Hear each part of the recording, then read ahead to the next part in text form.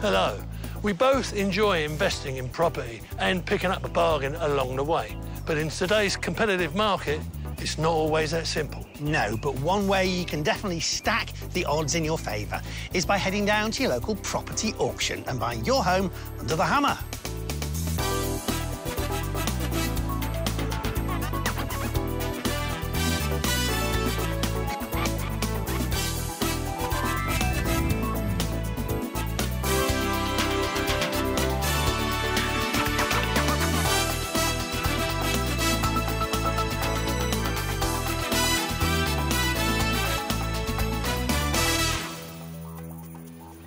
Buying a property auction, there's no messing about. As soon as the hammer goes down, you've signed contracts. Yes, and then 28 days later, sometimes less, you will complete. So it's a quick process. But what inspired the buyers on today's show? Well, the properties are anything but standard, starting in Felixstowe. Now, that's an odd ceiling, and that's because this is a non-standard construction house. There could be an unusual development for this bungalow in Willenhall. So what are your plans for this then? We represent a, a care company. We're looking for community-based accommodation. And there's a surprising feature in this flat in Liverpool. This, however, is all a bit strange. This is a kind of pod they've created in the middle. Why would you do that? All these properties have been sold at auction and we'll find out who bought them and what they paid for them when they went under the hammer. Congratulations. First today to the Suffolk coastal town of Felixstowe, home to the largest container port in the UK. And Tommy's nearby to see if it also contains some decent auction lots. I'm in this residential area of Felixstowe, and this here is today's auction lot. It's a three-bedroom semi, and it had a guide price of 120 to 140,000 pounds. Well, there's lots of off-street parking to the front, which is always a good start, and the actual building looks in good shape from the outside. So why don't we take a look inside and see what you're going to get for your money?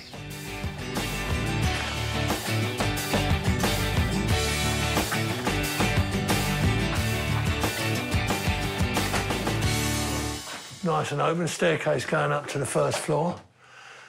And interestingly, and this has confirmed it, a lot of stripping out's already been done. So there's been a bit of work done on here, and obviously someone's rewiring it, chasing the cables into the wall. Big triple window there brings lots of natural light in. Yeah, this could be a real nice, comfy, cosy room in the depths of winter with a fire going, you know. And then that leads into this room, which would be a nice kitchen diner. Now that's an odd ceiling, I hear you say and that's because this is a non-standard construction house. The good thing about that is it's a, a, nice, bright, comfortable, fast house, so it's very quick to build.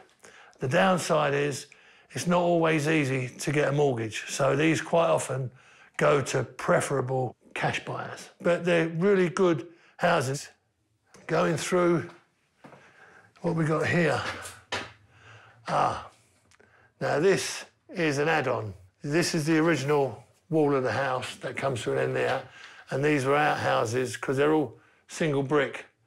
So none of these, unless you put a lot of effort into it by putting timber framing round with insulation and plasterboard on to bring them up to standard to get a higher EPC rating, they have to stay outside. So when they're outside of the main building, they don't come under the same planning regulations.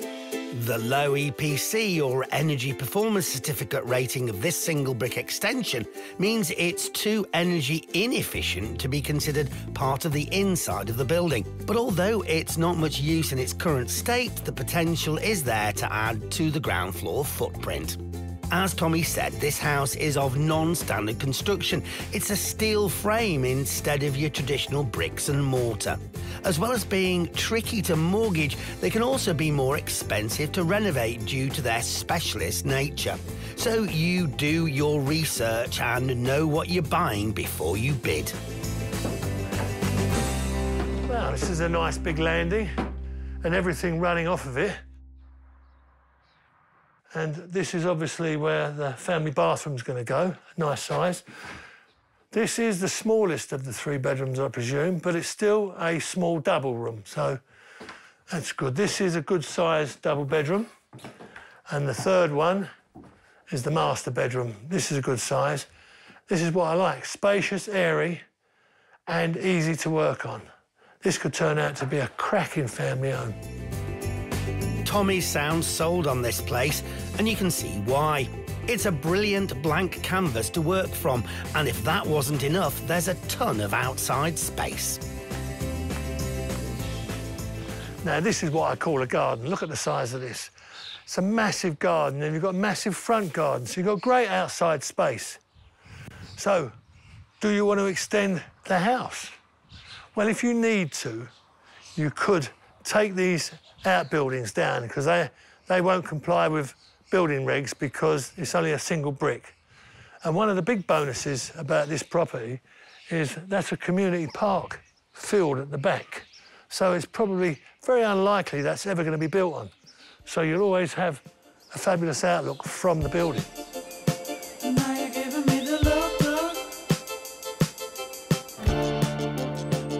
What will a local estate agent's outlook be on this three-bed semi that was guided at 120 to 140,000? We've invited one along to find out. So first impressions of this property is that the space is large and looking into the garden, backing onto the playing fields, you've got great space to extend.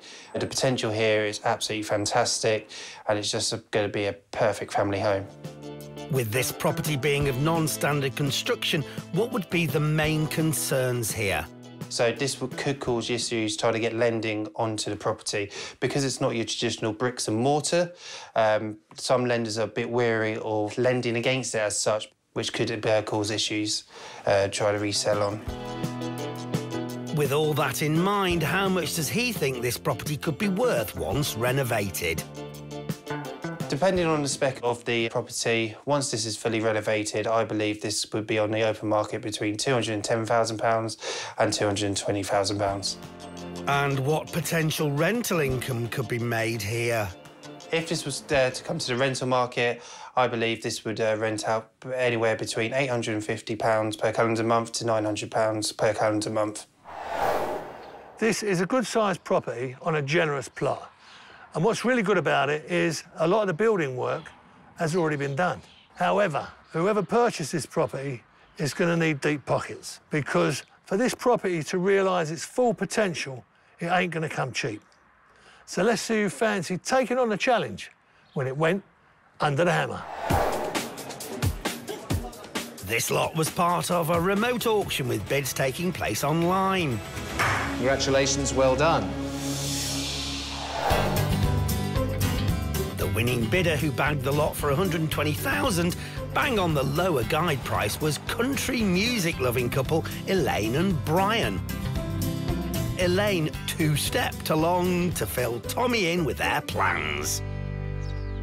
Well, Elaine, can I give you my congratulations on your acquisition? Thank you. This is a substantial property you've got here. Yep, we're very happy with it. And what was it about this particular house that attracted you? The size of the property in the first place, and obviously the price, um, fitted our budget uh, very nicely, gave us the opportunity to do something and to buy in this area because I couldn't have afforded to otherwise. You said we, but you didn't elaborate on that. Who's the we? The we is myself and my partner Brian. And is Brian a builder? No, he's not. No, he's um, he's actually uh, retired um, from his regular work, but he's um, a singer and on the road quite a bit. A singer? Yes. Oh, yes. a professional singer? Yes. Yeah, he's a, a country singer and very good one. Oh, what fascinating that is. I like a bit of country and western myself, actually. Yeah, I do. My favourite. And is this the first time you've ever bought at auction? It is, yes. I have bought uh, properties before, but never at auction. And what, to renovate them or? No, no, no. Um, they were already in pretty good state and just put my own taste to it at a later stage. What, what made you pick this particular area? Brian's family are this way. Mine are in Kent. Um, well, one's in America as well. But uh, this was a nice location by the coast, it, and it just appealed to us. We were looking Norfolk, Suffolk, um, anywhere within this location. We couldn't find anything on the regular market that I could afford. And this one came up on an auction site that Brian took a peek at. And we came to see it, looked from the outside, spoke to a couple of neighbours about the properties. And then we had an arrangement to come back and view it with the agent from the auction room.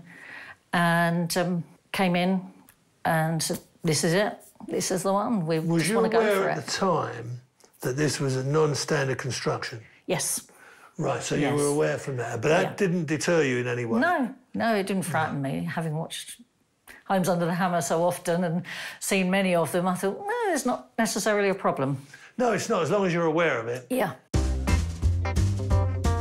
Not deterred by the house being of non standard construction, Elaine and Brian are now ready to get stuck in. They're going to make sure the work started by the previous owner has been done correctly before embarking on a top to bottom refurb. Outside, they'll get the single brick extension up to habitable standards and use it as a downstairs shower room, office, and extra storage. They're also going to look into creating a space for a garage or carport. With a decent budget of 50 grand, they're hoping to get finished in nine months.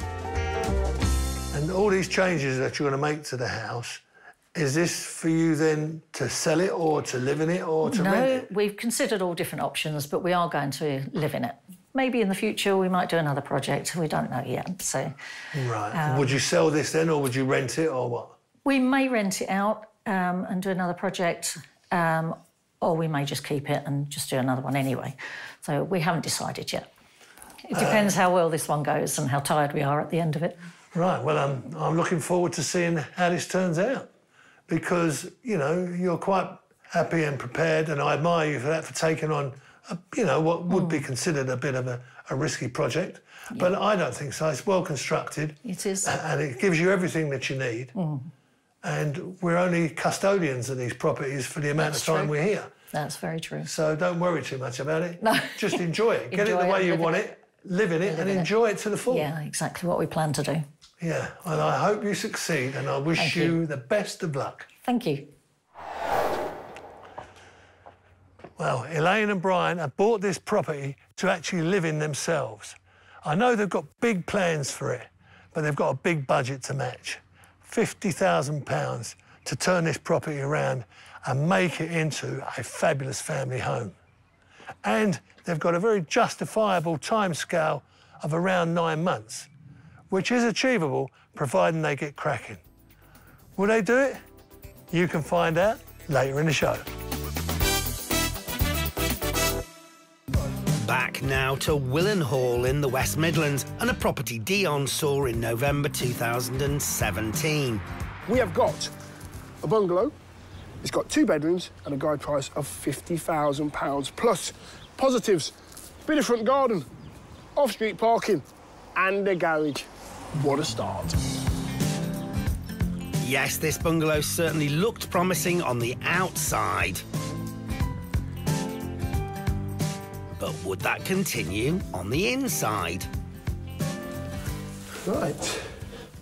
You know what? A really spacious hallway when you come in. There's loads of uh, loads of air and light coming in. It hasn't been decorated in a while. I can tell by the floral carpet. Now there's two bedrooms in this bungalow. I'm just trying to figure out which ones are the bedrooms. Okay, I'm taking a guess. That is the lounge.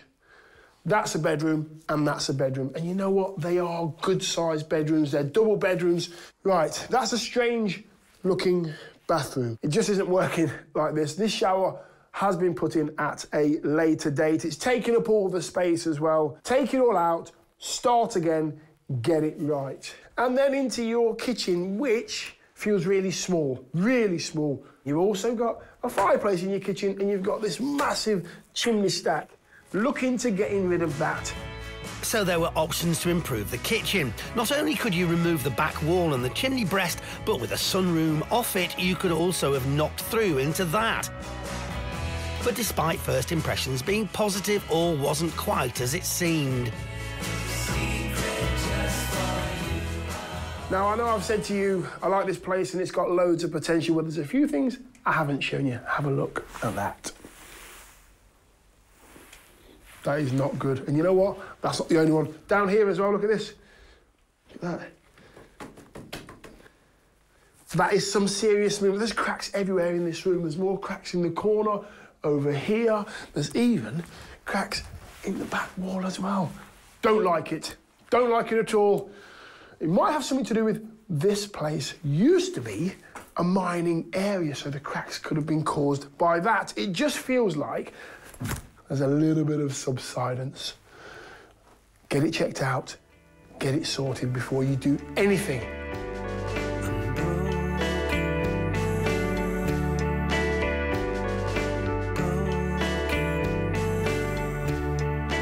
It seemed that the bungalow was broken, but it did sit on a great sized plot with an enormous garden at the back, which gave an option to build something bigger and better. This bungalow isn't in great condition. It needs a lot of time and money spent on it. It could become a bit of a money pit if you're looking to renovate this place. For me, I'd want to take it back to the very, very foundations, build something new, if planning permitted, and the figures work out. Let's find out who was interested when he went under the hammer. After a slow start, this proved a popular lot, with bids going back and forth between multiple bidders before the hammer fell. We all done? One, two, three. And the triumphant pair who bagged the lot for 126,000 were Ian on the right and Dean. Ian is a finance manager and Dean the maintenance manager for a specialist building company that aimed to change people's lives. Dion caught up with them to find out their plans for the dilapidated bungalow and its decent sized plot. Ian, nice to meet you. And you, Leon? Dean, nice to meet you too. Nice to meet you, Dean. And well done. You've got yourself a project. Absolutely. So what are your plans for this then? So we, we represent a, a care company across the West Midlands uh, who look after young adults with learning difficulties, physical disabilities, Asperger's, autism, that type of thing. So we're looking for community-based accommodation. That is brilliant. It's helping young adults. Yes. give them a life. Yeah. Yeah, life yeah. opportunity, community-based living, and it's just trying to empower those people to have uh, fulfilling lives, really. What are you doing with this then? Are you extending this or Well, plan A would be to um, completely knock it down and start again. flatten it, have a have a blank canvas, Yeah, yeah. empty plot, okay? Yeah, and then yeah. six one-bed uh, apartments in a mews style. So whether it be an, a, a C shape or an L shape, Okay. just to keep the garden features uh, intact. Plan B So yeah, plan B would be to keep the facade at the front and obviously extend to the side and, and out the back to, to create the same kind of Yeah, take this back, back to shell really as, as best we can. Obviously, there's there's problems here, so we, we really could do with knocking it down. so plan A, with the six dwellings, if you were to get everything you wanted and you could flatten this place, talk us through the configuration, because I know that'll be the front. Yeah. How would it look? So we'll have to go for planning permission, but the building line of the rest of the street is a few metres further forward. So Oh, we'll so you look, can nudge. look to consider uh, that forward, which will give us more space to the rear. So two flats at the front, Yes. and then a single line behind, leaving the garden areas um, on, on sort of a mews Uh-huh, type uh-huh. type arrangement. So there's plenty of communal space out there to use. Okay, so plan A's budget, if you were to get what you wanted and everything was passed and they said, listen, listen, you two go and do what you want, you're doing a great thing, what's the budget? The budget comes back to the fact that we are really a care company. Yeah. Uh, and the, the business of caring provides the returns that the business needs. So when looking at the property, we don't necessarily need to make a profit. We just need to cover our costs so that the care business itself makes the profit in due course. So we've spent 126 on this and our overall budget for six is 600,000. Okay. So we think we've got plenty of funds within the pot to cover all bases, even on Plan A. They thought the build would cost 350 grand, so 600 all in was a good budget. And if that didn't work, there was always plan B. If we have to keep the current building, we won't get six. Yeah. Um, we need a minimum of four to make the project work, which I think is is achievable Yeah. with the replacing the buildings to the rear. Um, so the budget will come down by a couple of hundred thousand uh, based on the number of rooms. Okay. Uh, and we'll have to make good as best we can in the existing building. So tell me, what's the difference between building a, uh, or shall I say, working on a project for assisted living than just a normal refurb? What have you got to do differently? What have you got to put in? There'll be domestic uh, one-bedroom flats, uh, but the spatial requirements mean that we, we try and limit the number of walls. So it'll be a lounge kitchen rather than having a separate kitchen, with, which might um, mean there's, there's the turning space for wheelchairs isn't, Okay. isn't there. So Oh, we try and keep them as open plan as possible, um, but then it also maintains independence with their own front door, and then we'll have communal areas, uh, staff areas, so that they can break out and uh, get together or have a chat or play games, watch TV together. So that there's a community feel as well as spatial independence. At that stage, Ian thought the planning process would take six months, and regardless of whether it was Plan A or Plan B, this customised accommodation would be ready in four months after approval. But in the end, three and a half years had ticked by before we went back to check on progress.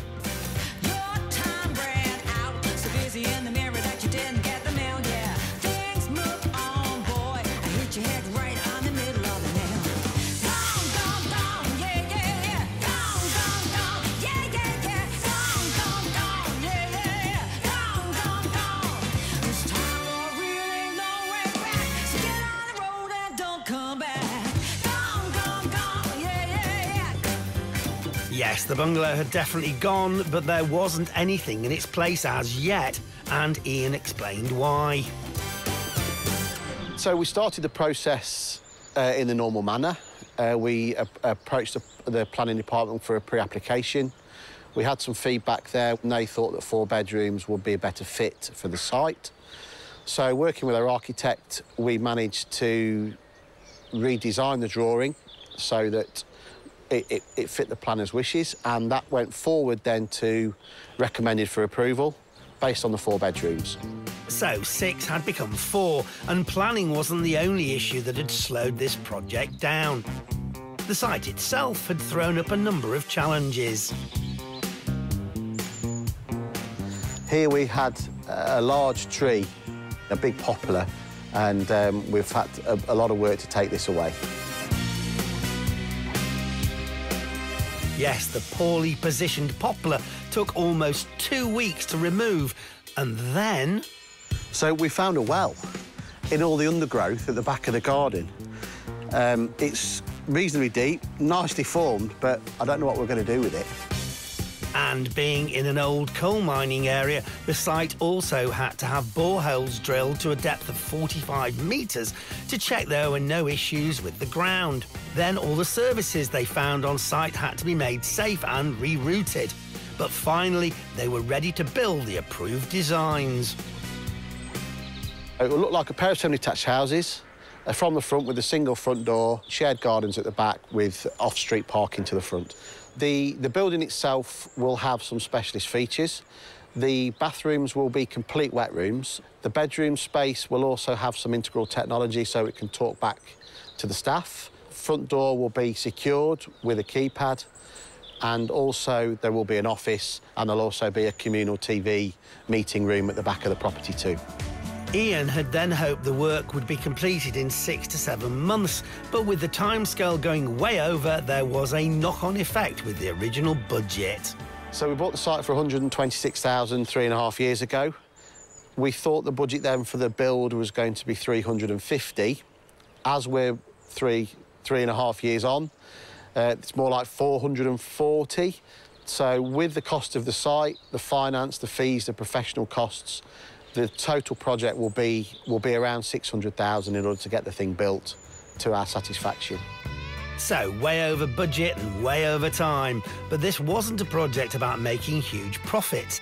It was to provide much needed accommodation for four young people looking to move forward with their lives.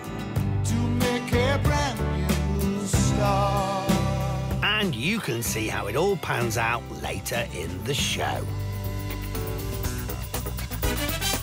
Still to come, this owner's ambitions are as lofty as their property. What was it that you liked about it? Well, I've always loved the building, but the view is fantastic. Hmm.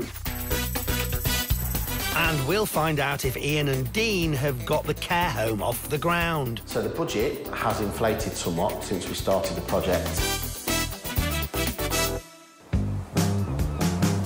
Time to return to Felixstowe, where Tommy was looking at a three-bed semi with a guide of 120 to 140,000. And there was a bit of a bonus when he looked inside.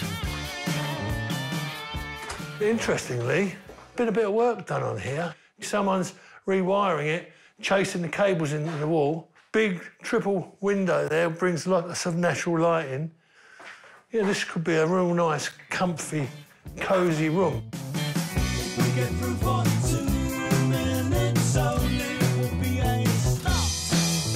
But although someone had started the work, there was a downside to this property. It was non-standard construction, which can make it difficult to get a mortgage. But that didn't put off country music fan Elaine, who bought the property with partner Brian for 120,000. That this was a non-standard construction. Yes. Right, so Yes. you were aware from that, but that Yeah. didn't deter you in any way. No, no, it didn't frighten me. Having watched Homes Under the Hammer so often and seen many of them, I thought, no, it's not necessarily a problem. So, with a budget of 50,000, a timescale of nine months, and some confidence from watching Homes Under the Hammer, Elaine was determined to turn this into her and Brian's new home.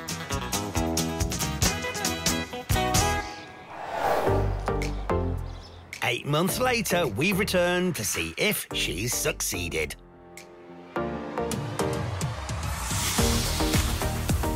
I'd say that was a resounding yes. Where once there was an empty shell, Elaine has created the warm and inviting front room Tommy hoped for. Whilst at the rear of the property, there's a stunning, spacious kitchen diner with views out onto the back garden. Upstairs, there's a new bathroom, and the bedrooms have been entirely redecorated, each given their own colour scheme. There's been an awful lot of work, made all the more difficult by the fact that the house was of non standard construction. We had the plasterers come through to redo the ceilings, and we had the walls done as well. We decided to go the whole hog. That was quite a challenge in itself because of the structure of the building. And they've put in some support work to help those ceilings to be strengthened and will help to stop the movement of the boards. It's worked quite nicely uh, overall. But tackling some of the problems that come with buildings of non standard construction didn't just benefit the structure of the house, there were other bonuses for Elaine. When I applied for insurance for the home, I explained to them that it was a non standard property. And when I described the property and what had been done to it, they accepted the fact that it was now, in their eyes, a standard property because it had the solid walls. So that obviously was a good thing for me. And it could be a good thing should Elaine come to sell. The insurance company now regarding the property as standard construction is a good indication that mortgage lenders would do the same.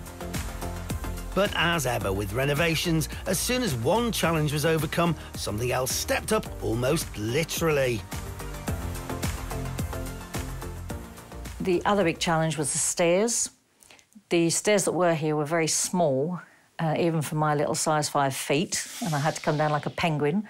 But obviously, with the amount of work going on, moving rubble, moving rubbish out of the house, that became a, a weaker and weaker set of stairs, eventually breaking, so we had to have them replaced. It probably didn't seem like it when they broke, but I think it's a good thing, as the new stairs will be far easier and far safer to use. But even after all that, Elaine and Brian aren't finished yet. We've still got the side part of the building to do where the old wash house would have been and the outside toilet. And then exterior, we need to do the garden and level all of that. Eight months in, and with the outbuilding still to do, the work will take a little longer than anticipated, mainly due to their contractors having very busy schedules. But did Elaine manage to stick to her £50,000 budget? We have gone over budget. we've gone in at around 62,500, but we're enjoying the fruits of it and just love what's happened to the house. She seems delighted with the results, and quite rightly so, in my humble opinion. But what will a local estate agent think? We've asked along the one that saw it last time to get his thoughts. Oh, uh, the transformation's been absolutely fantastic. Uh, they've done an absolutely spectacular job. It's been modernised. It feels bigger in itself, and that's down to the colours. Um, also, the layout um, just makes the house feel that tiny bit bigger. A ringing endorsement. And who does he think the house would appeal to? So this property would um, appeal to quite a few people. First-time buyers, uh, people looking to upsize with a small family, uh, or potentially investors. Having bought the property for 120 grand at auction and spent 62,500 on the modernisation, what could it be worth on the open market? So in this current market, I believe this uh, property would be worth £230,000. But if they were to do the necessary works to make it a, a standard construction, then the value of this property would be £260,000. Um, we're very happy with what we've done and happy that it has made that kind of profit on what we paid for it and the money we've spent on doing it up. So that's a good, good enough figure. With a current total spend of 182,500 and if Elaine is able to get the house officially signed off as standard construction, her and Brian could be looking at a pre-tax profit of 77,500. But profit isn't what this project was all about. It was bought to be a home. I absolutely adore it. I, you know, I just walk around the house and see different aspects, and, and I just enjoy each room. I'm happy with the way they've turned out. And I think that makes all the hard work worthwhile.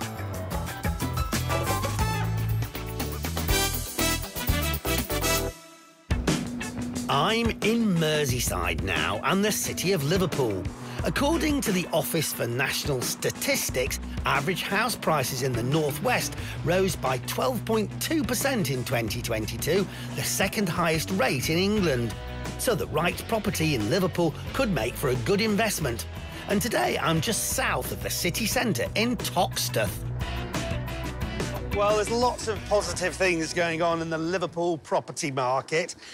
This area has got some really good things happening. So the idea of owning a studio flat here mm, sounds pretty good, especially one in this amazing historic building. £40,000 was the guide price. Let's have a look. This is a leasehold property inside an old converted warehouse, and first impressions are good. There's a lift for a start. And the communal area is clean and modern. Let's just hope the flat itself doesn't disappoint. Well, now that is a surprise. What a fantastic flat. The first thing you see when you come in here is just the height of the ceiling. It's, it's obviously kept that industrial feel, which I personally love. I mean, the old supports there. I'm loving all the, the trunking with the electrics in it, the fact you can see the sort of beams and the, uh, the RSJs, the roll steel joists. Yeah, it's, it's pretty funky. This, however, is all a bit strange. Uh, this is a kind of pod they've created in the middle. This is the bathroom and the loo. And why would you do that? Why would you put that in the middle there? Why wouldn't you put it over there in that corner? The problem you've got is moving it at this point.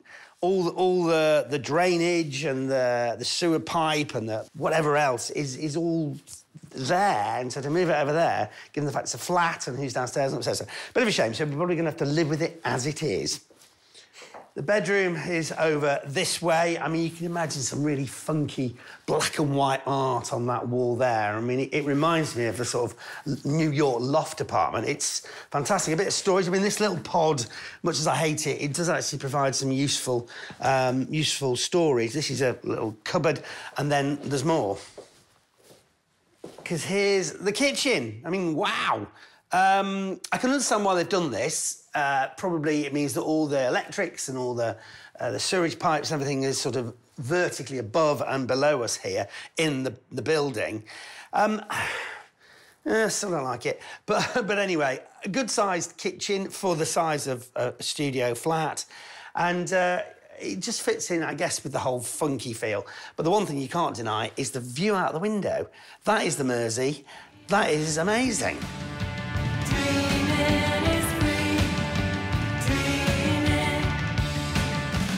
With views like this, it's a great spot to daydream. But it's just a shame that the windows weren't a little lower than you wouldn't have to stand. There's also good views from the living space on the other side of this studio apartment. Overall, this flat is a fantastic property. No major work is required, and the buyer could simply clean it up, decorate it to their own taste, and it will be ready to go. So, obviously, when it comes to buying a flat, a couple of other things you want to be thinking about. Number one, uh, the management charge. Well, I've checked that out. Uh, so, that's for basically making sure that the communal areas are kept in good condition. Uh, it's £1,200 a year, so that's not too bad. The other thing is the lease. Well, that's good news. It's got 120 years left on that, so nothing too much to worry about. So, basically, what can I say? It's a really funky, well presented, needs a little bit of work, but, but overall, fantastic studio flat. Time to see what another property expert thinks. We invited one along from the auction house that sold it to get their thoughts and valuations on this funky studio apartment that came with the guide price of £40,000. There are plenty of positives about this apartment. It's in an up and coming area, being very close to the city centre, making it ideal for students and professionals to commute into the city. The apartment we're in is in good condition, seems to be taken care of, and it's all been well maintained. So, does the expert think there is anything a potential buyer could do to improve on this already very impressive lot? There's currently a unit in the centre of the apartment that houses the bathroom and the kitchen. I personally think this could probably be enhanced slightly just to improve the finish in line with the uh, standard of the property. And what about those all important numbers? What sort of figures could a buyer expect? Once this apartment is ready for the market, my rental valuation would be £600 per calendar month.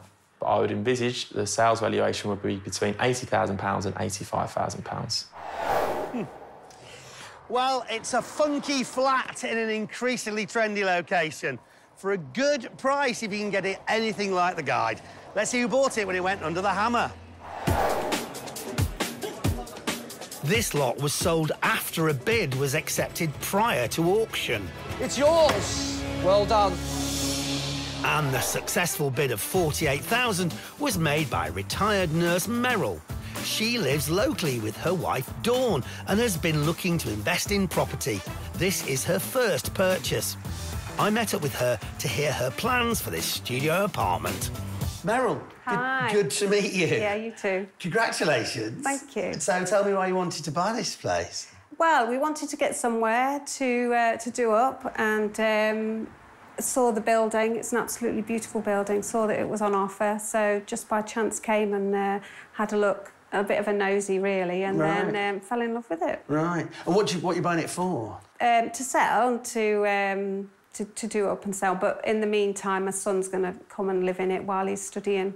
Oh, right. So he's studying yeah. locally then? So he's gonna he's come back to Liverpool, yeah, to study, do a masters. Oh, right. So this is going to be a student pad? It's going to be a student pad. Wow, what an amazing place for a student to live in. Yeah, yeah, yeah. He must be in seventh heaven. yeah, yeah. yeah. He did say he had visions of buying it off me, maybe even when he's finished. You Okay. never know, to get his Yeah. foot on the ladder. What was it that you liked about it? Uh, well, I've always loved the building, but um, the view is fantastic. Mm. And um, it just seemed a really good size Yeah. as well. A really good size. I mean, for a studio flat, I mean, I've been in, I've been in f- two-bedroom flats smaller than this. Yeah, yeah. And nicely proportioned. The way they've hmm. done it is really nice. Funky. I Yeah. mean, I, for a student, just it could not be better. Bit of funky art on the walls, you know, big stereo if they have those these days. You know, just awesome. Yeah, yeah, yeah. So, what's the plans for it then? What are you going to do to it? So we're just going to really enhance that, that what we've got. We're definitely going to do something with what that looks like. It just doesn't feel like it's finished, does it? No, it doesn't. No, it doesn't. So we hopefully are going to think of something a lot more interesting to do, do with it. I haven't quite worked it out yet. Mirrors? Mirrors in the bedroom, maybe. Mirrors all round? Like a, like a, like a, like a TARDIS? Well, enhance the size of the room, probably. Yeah, it would would. good. My son was very keen on that being kind of TV and desk and what have you here. And Ellis will be involved in. My son will be involved in the in the putting things where he wants them to be, um, and try and think about how we can utilise some of the the height. What, you think of like a mezzanine floor or something? A bed or Well, I don't. I don't think it's quite high enough for that. But maybe just utilising. Uh, my hope was maybe even a library kind of up in the library, up, up high. But that's in my head. Making use, making something up round near the window so that you can look and see out of the uh, Right. out at the river and make use of the view.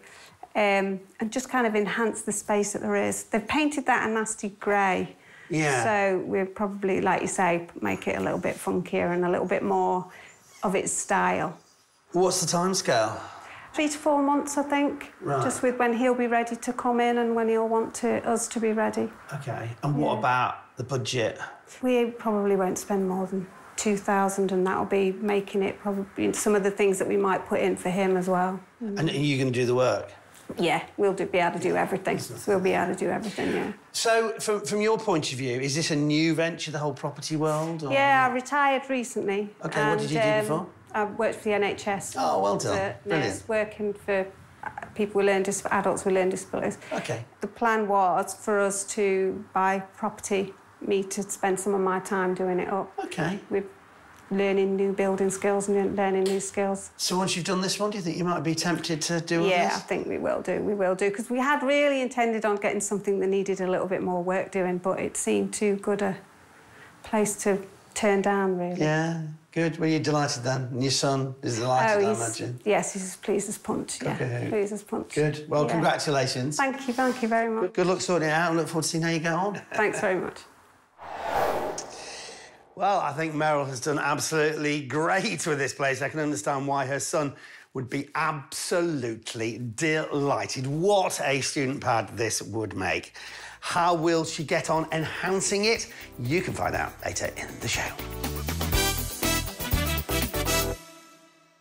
Well, we've seen how one property turned out, but there are still two left to see. Hopefully, they will have completed the work, but that's not always the case. All sorts of problems can crop up. So let's see what our two remaining buyers have had to cope with. Let's just take a look. Back now to the West Midlands and the market town of Willenhall, where we first saw this two bedroom bungalow that was built in 1932. And in recent times, it would be fair to say the years hadn't been kind to it. That is some serious movement. There's cracks everywhere in this room. There's more cracks in the corner, over here. There's even cracks in the back wall as well. Don't like it. And with the bungalow sitting on such a large, deep plot, you had to question whether the building was worth saving.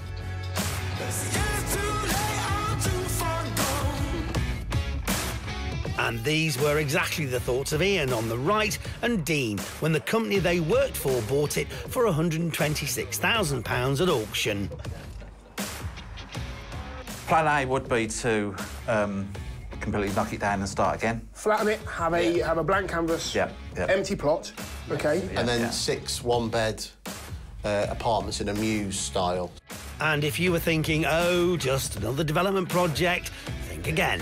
These apartments were for a very specific purpose. So we, we represent a, a care company across the West Midlands uh, who look after young adults with learning difficulties, physical disabilities, Asperger's, autism, that type of thing. So we're looking for community-based accommodation. Ian is the finance manager, and he had hoped to bring in the six apartments for an all in total of £600,000. And once planning was approved, maintenance manager Dean had hoped it would be ready to go in about a year. But when we first returned, nearly three and a half years later, well, it was just an empty site. But now, over five years since we first saw that dilapidated bungalow, we're back.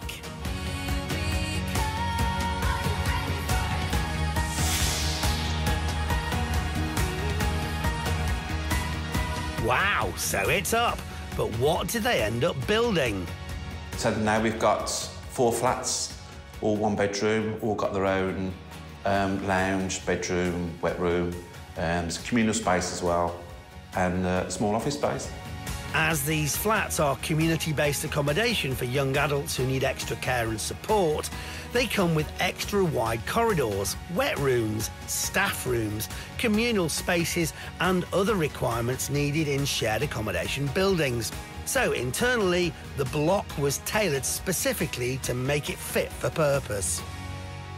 And externally, I think we've tried to blend in with the street. It, it is the most modern house now on the street. We're set back from the road. We've got private parking, electric car charger to keep up with the times, and uh, we're very pleased with how it looks. But with problems getting in some of the utilities, extra foundations needed on the site, and a whole host of other issues, this project has certainly dragged on. But now, apart from a few small jobs, it's just about complete.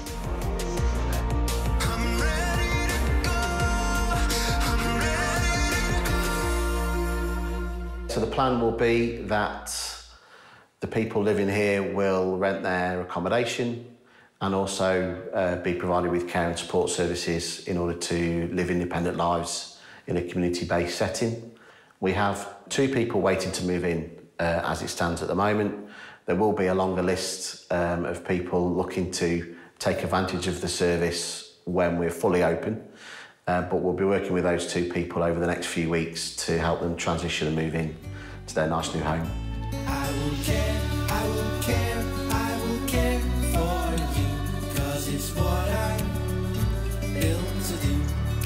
Over the years, the care company Ian and Dean work for has provided similar accommodation for over 200 young adults across the West Midlands. And Dean and Ian have worked together for over 10 years on similar type projects. Cause together, there's nothing we can't do. I've kind of overseen the project, um, attending regular site meetings with the contractor, um, just to make sure that things are, are moving and make sure that we get kind of what we, we've asked for. And my role has been to attend the odd site meeting alongside Dean and the main contractor, pay the bills, uh, pay the invoices, um, and then manage the contract uh, to see it to, it to its conclusion. And talking of the bills, what did the final tally come to? So the budget um, has inflated somewhat since we started the project. Um, we've had several delays um, due to many unforeseen circumstances. So we've ended up with a final account of £598,000. And along with the £126,000 purchase price, they incurred other expenses along the way, meaning Ian reckons the whole project will come in close to £800,000.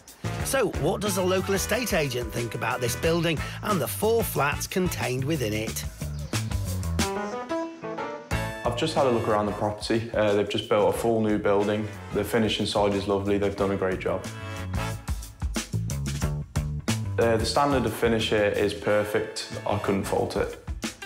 Catering for specific needs, this isn't a sell on development, but it represents an investment of around £800,000. So, is it money well spent?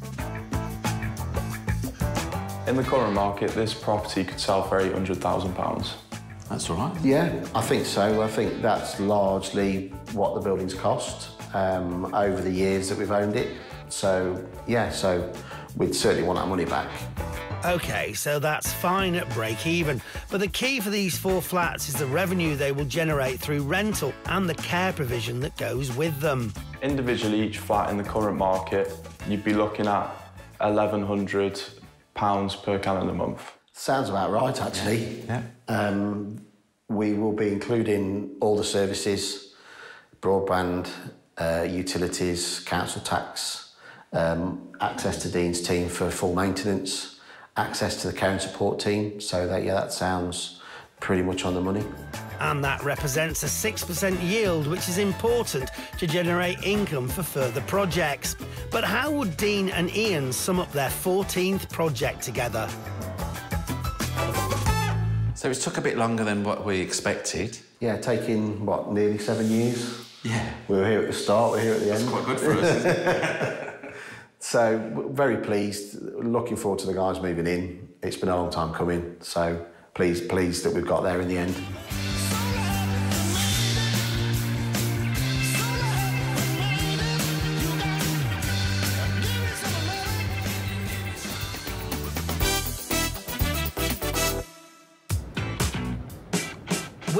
Back to Merseyside and the city of Liverpool, where I saw a one bedroom apartment in an old converted warehouse. And despite its modest size, this studio flat was packed with personality. What a fantastic flat! This rather funky lot had a guide price of 40,000 and for that you got a small kitchen, a living room with great views and a good-sized bedroom.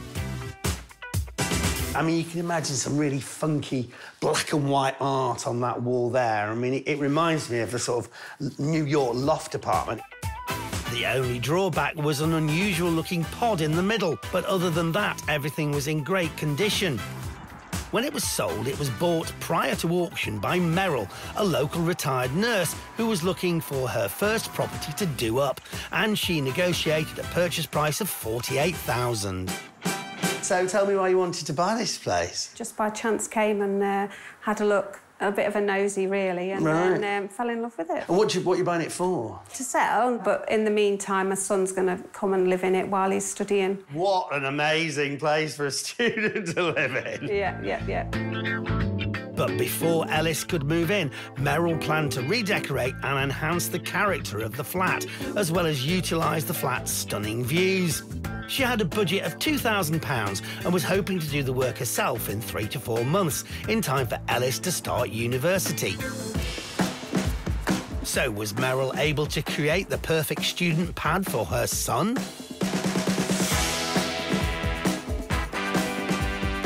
We've returned just under four months later, and this funky flat has gotten a whole lot funkier. Meryl did all the work here alongside her wife, Dawn. You've done more than I have. Well, being retired, it means that I, uh, I've got the option to do a lot of it, but we have been here of evenings together and weekends together, haven't we? Yeah. I think you'd be glad for a little break, won't you, love? Very much so, yes. No wonder because they've both been very busy. We wanted to lighten the place up because it was so dark in here with the dark grey and the dark blue walls. It was really dim, wasn't it? Yeah, it was several coats, and obviously it's very high and very big. They decided not to opt for any drastic changes to the layout or the pod, as Ellis was happy to keep things as they were. So instead, Merrill and Dawn have freshened everything up and tried to give it a stylish touch whilst keeping an eye on their costs. The thing that we've probably enjoyed together the most is finding little bit, going to antiques places and finding little bits of things that would fit in. Well, we've definitely thought that it would be lovely to sit and eat looking out of the window and how we could use that. So we managed to find um, a table that we could work on to make look nice, and it fitted perfectly. We really wanted to change the, the kitchen, the, the cupboard doors mostly because they are a darker grey and we wanted to lighten it up. So in the end, we changed the door that covers the fridge and bought some disco lights.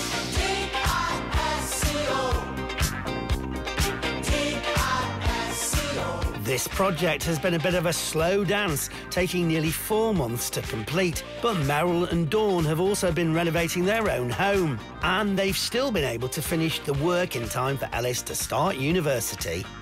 The challenges that we've had on the way really have been chasing the people who run the building. Found the man to talk to, and so it's okay now. We did have a problem with the drain pipe, so they've fixed that. They've been okay, actually, once we found out who it was who we were talking to, especially as we haven't paid him any money yet, so. Once they've been paid, Merrill and Dawn will have spent £1,200 of their original budget of £2,000. They've ended up with £800 in their pocket as they've done mostly decorative work. The only outside help they've needed was a qualified electrician who repaired some faulty sockets and fixed a couple of electric radiators. Now the work is complete, have their long-term plans for it changed at all? Ellis is still going to live in it, and actually, I'd mentioned that we were talking, and Dawn had thought that she might want to turn it into an art studio. And uh, he said, Oh, that'll be when I leave, with a view to probably that not being very soon. Other than that, he, he, he's not, it's, been, it's going to be a surprise for him when he comes in and sees it all finished. I'm sure he will be delighted with his fantastic student pad. What does an expert think, though, of the work carried out on this studio flat? We've invited the expert from the auction house who sold it and saw it on our last visit to get their thoughts. This is the second time visiting the property. I think the owners have done a fantastic job in sprucing the place up. They've done some uh, cosmetic refurbishment to it, um, and it's now in, in good condition. Merrill and Dawn may keep the flat once Ellis has finished university, although they haven't quite decided yet. But if they wanted to go down the rental route, what sort of income could this flat generate? I think this property could rent for somewhere in the region of £650 per calendar month. Even after the annual service charge of £1,200 is factored in, that would give them a very healthy yield of over 13%. So the long term figures are good. What about its resale value? As Merrill and Dawn have spent a total of £49,200 on their investment.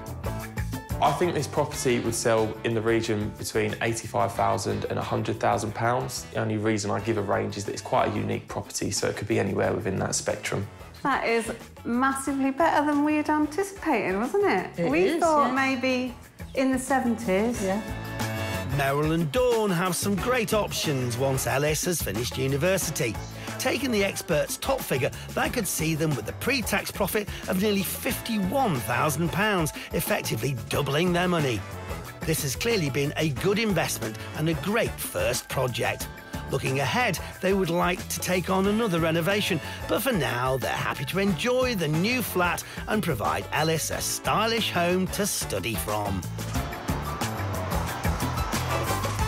We absolutely love it, and I think at the times when I've just looked out the window and gone, look at that, look at that sunset. You never get sick of the sunset here. You never get sick of it, just how it feels now is so much better. Well, that's another set of property owners who've experienced the highs and the sometimes lows of buying at auction. But there are lots more stories for us to bring you, so make sure you join us for more auction action. And in the meantime, head to BBC iPlayer for lots more episodes of Homes Under the Hammer.